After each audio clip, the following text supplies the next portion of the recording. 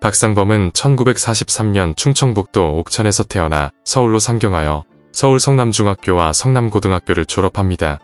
그는 학창시절 유도와 검도 그리고 복싱 등 다양한 무술을 연마했는데 다 합치면 10단이 넘는 등 대단한 실력자였죠.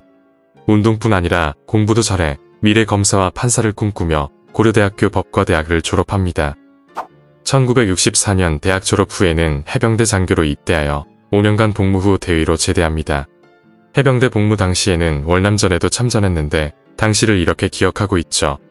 기왕이면 군복을 입었으니까 남자답게 한번 가보자라고 생각했어요.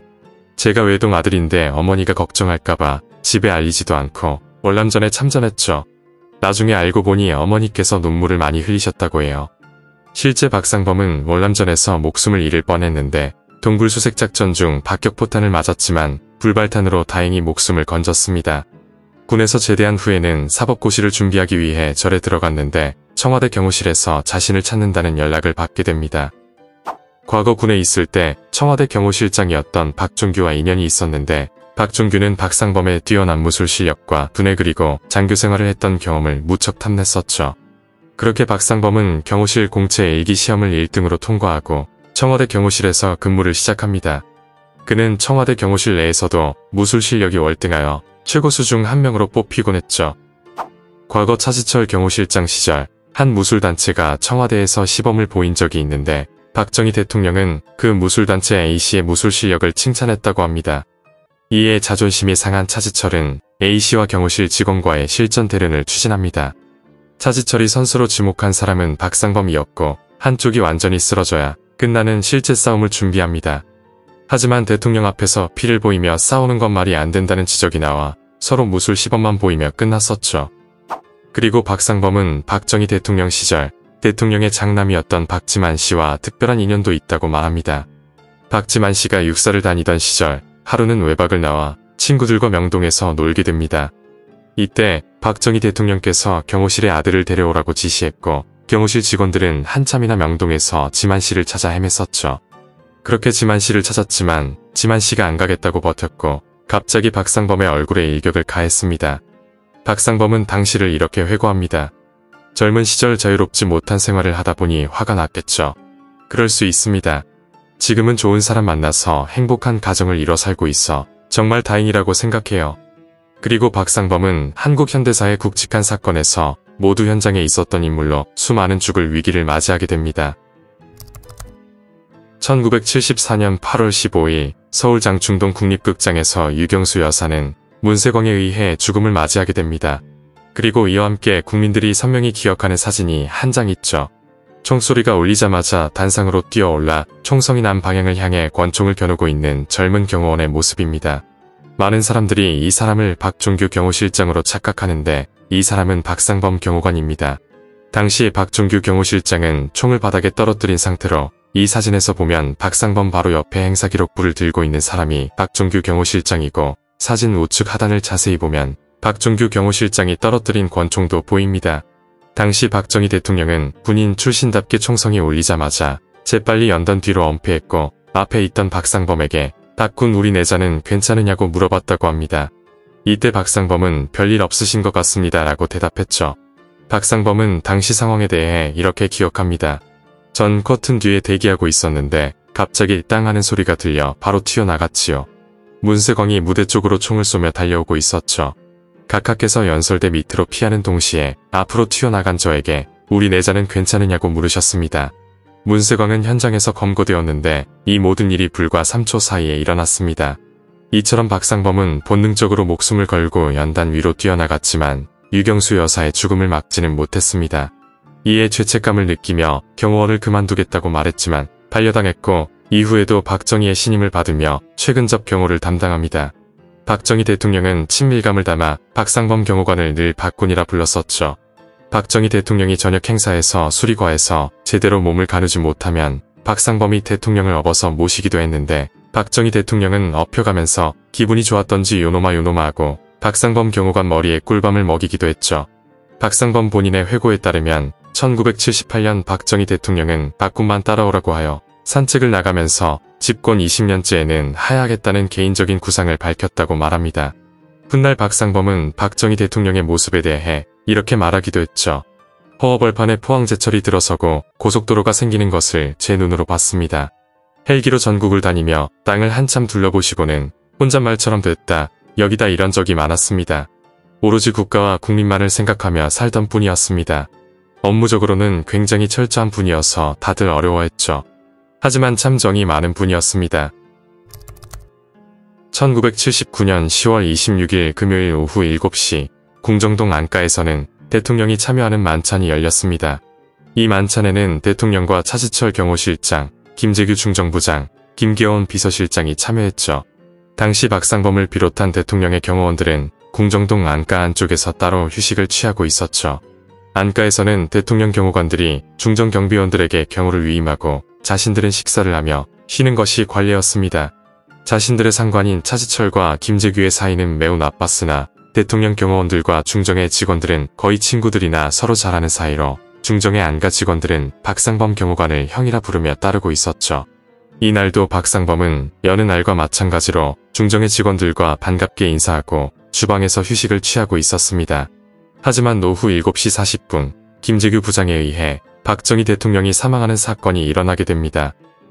그리고 같은 시각 김재규의 수행비서였던 박흥주와 중정의 직원들은 주방에 있던 청와대 경호원 박상범과 그의 동료를 총으로 쏘았습니다.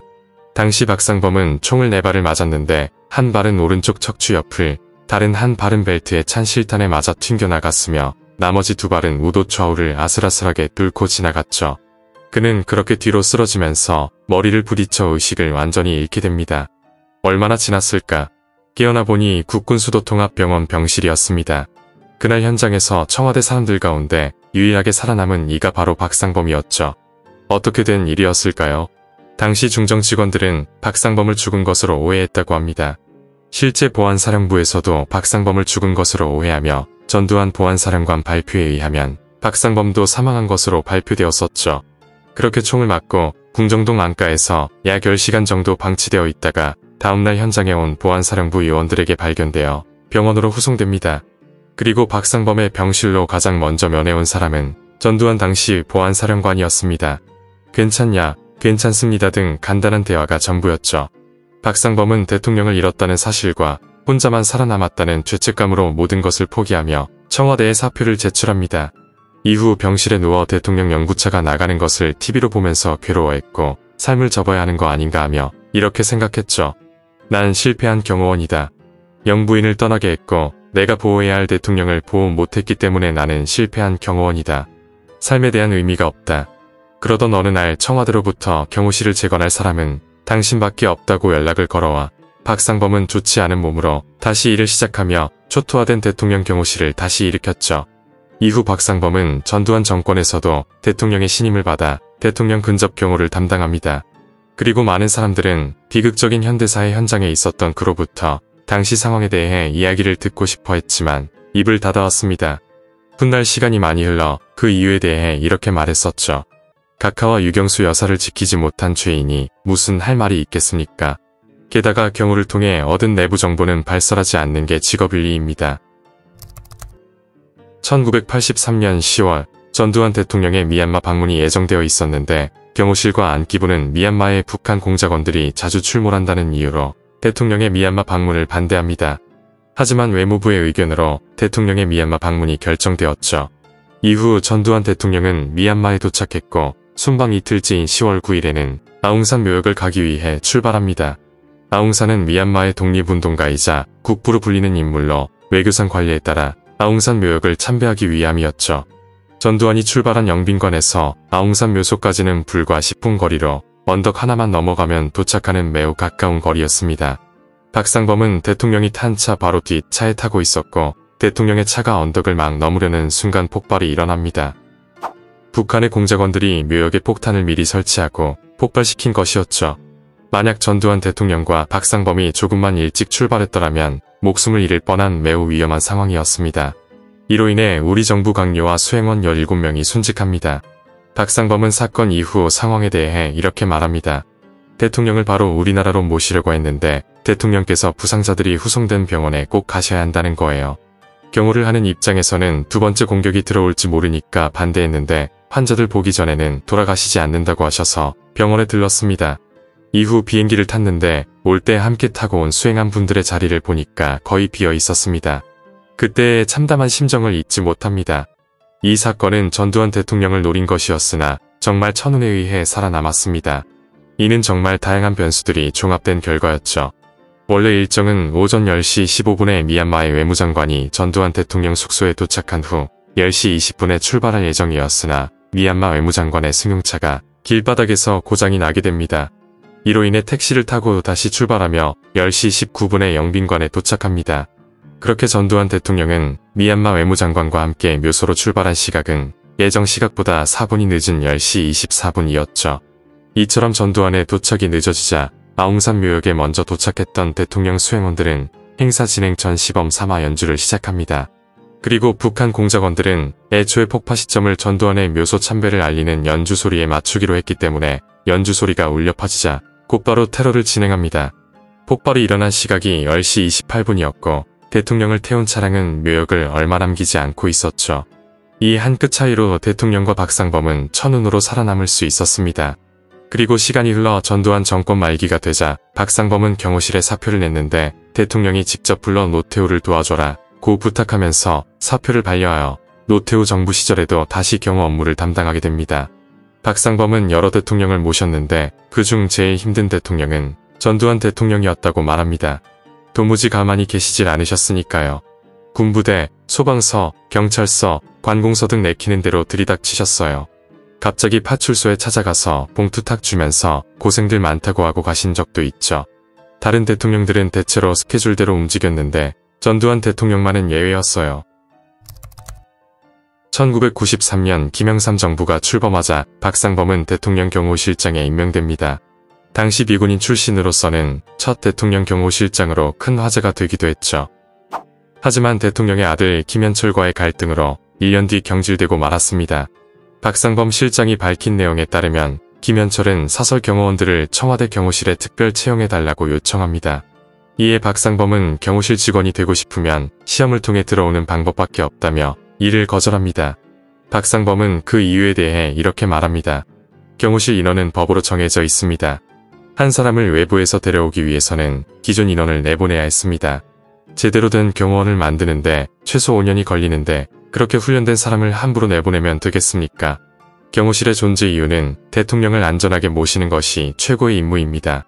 이처럼 박상범은 경호실에 대해 깊은 책임감을 가진 인물이었습니다. 실제 그는 집을 나설 때면 부모님께 다녀오겠습니다가 아니라 저 갑니다라고 인사를 했는데 영원히 돌아오지 못할 수 있다는 마음가짐으로 경호원 생활을 했었죠. 이 문제 외에도 박상범은 김현철의 월권 문제에 대해 대통령에게 직언했지만 소용이 없었다고 말합니다. 대통령이 두 번의 대선을 치르면서 현철 씨를 자신의 오른팔로 여기는 것 같다고 느꼈었죠. 그리고 박상범은 경호실장 외에도 국회의원이 될 기회가 여러 번 있었지만 이를 모두 거절했습니다. 먼저 전두환 대통령이 그를 국회로 보내려고 했지만 거절했고 96년도에도 국회의원 출마를 제의받았지만 이 역시 거절합니다. 이는 여러 대통령 곁에 있으면서 한 권력이 탄생했다가 또 사라지는 것을 봐오면서 권력의 무상함을 잘 알았기 때문입니다.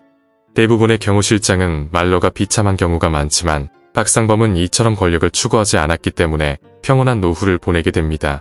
이후 민주평화통일자문회의 사무처장에 임명되었고 97년부터는 국가보훈처장을 역임하기도 했죠. 그리고 박상범은 여러 대통령을 모신 것에 대해서는 이렇게 말했습니다. 청와대 경호실은 대통령을 경호하는 곳이지 특정 대통령 개인을 충성해서 모시는 곳은 아닙니다. 전통적으로 정권이 바뀌어도 경호실장이나 요직만 바뀌고 경호실은 90% 정도 남습니다. 전문성이 중요하지 정치 바람에 왔다 갔다 하는 조직이 아니니까요. 그리고 그가 지켜본 대통령들은 공통된 특징이 있다고 말합니다. 먼저 모두 건강했고 놀랄 정도로 부지런하다고 합니다. 수많은 오찬 만찬 파티로 개인적인 시간은 전혀 없는 생활을 5년 버티려면 건강하지 않은 몸으로는 대통령을 할 수 없다고 말했었죠. 박상범은 1979년 이후 매년 한두 번씩은 꼭 박정희 대통령을 꿈에서 본다고 합니다. 그만큼 아직도 박 대통령을 그리워하고 있는데 그가 기억했던 대통령의 인간적인 모습을 들려드리며 이야기 마치겠습니다. 스스로에게 지나치게 엄격하셨던 분이었어요. 지방 출장 때 호텔에서 주무실 때도 빨랫감을 스스로 정리해 가방에 차곡차곡 넣어 박정이라는 이름표까지 달아 문 앞에 딱 내놓는 분이었습니다. 70년대에 물 절약하자는 운동이 있었잖아요. 경호팀이 수시로 거주하시는 곳 이곳저곳 점검을 하는데 어느 날 양변기 물통에 벽돌이 들어가 있는 거예요. 누가 흉기를 넣은 게 아닌가 잔뜩 긴장했죠. 알고 보니 물을 아끼려고 직접 넣어 놓으신 거였어요. 꿈에서 나오시면 생전에 일하시던 모습 그대로 보입니다. 그러면 잠을 못 잡니다. 가슴이 무너지기도 하고 우울해지고 허무해지고 합니다. 오늘 이야기는 여기까지입니다. 재밌게 보셨다면 구독과 좋아요 부탁드립니다. 지금까지 역사비디오였습니다.